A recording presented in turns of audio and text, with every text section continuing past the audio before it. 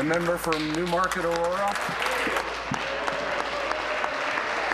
Good call, Jen. Very good call. To the Minister of uh, Health. this is an Ornge question Uh. Speaker, we want to speak to the public as well. And we want to speak to the public about what the minister has not done when it comes to the Ornge scandal.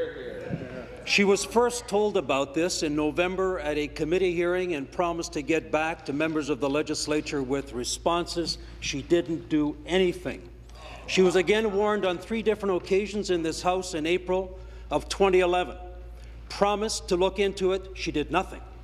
On May 4th of 2011, the minister received a five-page letter from the Ontario Transport Association listing numerous failures on the part of Ornge to comply with competitive procurement practices and, I quote, Question. compromised patient care and created serious personnel and cost issues for hospitals. What did she do? Nothing. I asked the minister Question. this. Please help us understand how you can stand in Member, and keep your job. member, You have done nothing.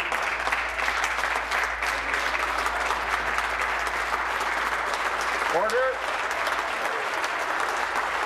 Order.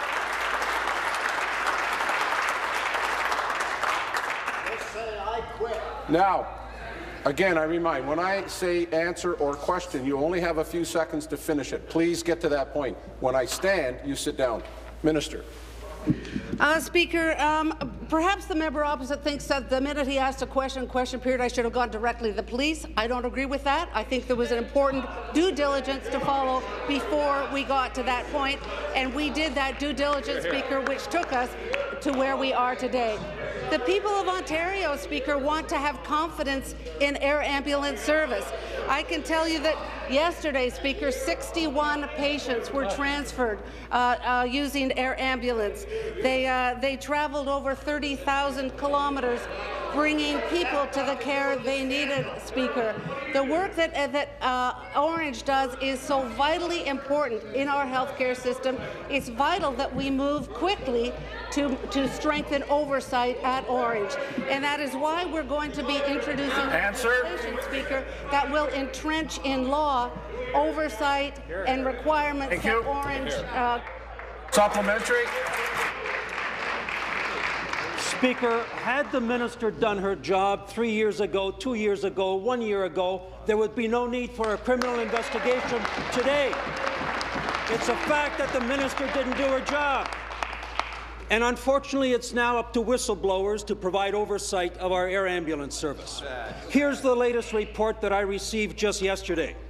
The London helicopter was out of service four nights in a row last week because there were no pilots. The Sudbury helicopter was out of service for three of those same nights for the same reason.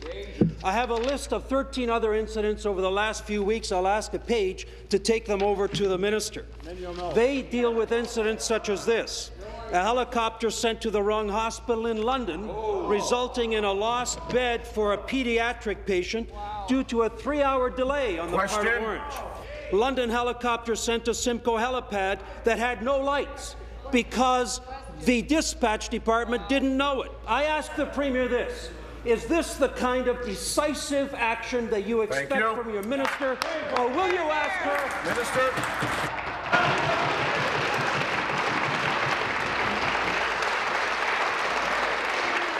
Order.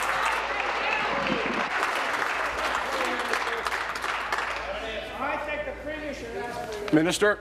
Uh, thank you, Speaker. What I can tell you is that every complaint that is made when it comes to Ornge is investigated, Speaker. That is a clear responsibility of Ornge. And what I can tell you, Speaker, when we put the new board of directors in Order. at Ornge, we paid special attention to patient safety, Speaker. Uh, uh, Ian Delaney, an impeccable business leader in Ontario, internationally actually, is the chair of Ornge. Charles Harnick is on the board. Patricia Lang, the former president of Confederation College.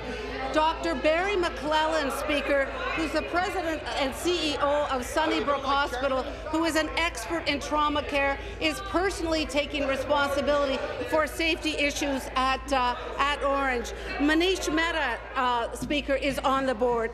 Patrice Merrin, Patricia Volker. Answer. This is a top-notch board who takes their responsibility extremely seriously, Speaker, and I have every you. confidence that Thank you. Question?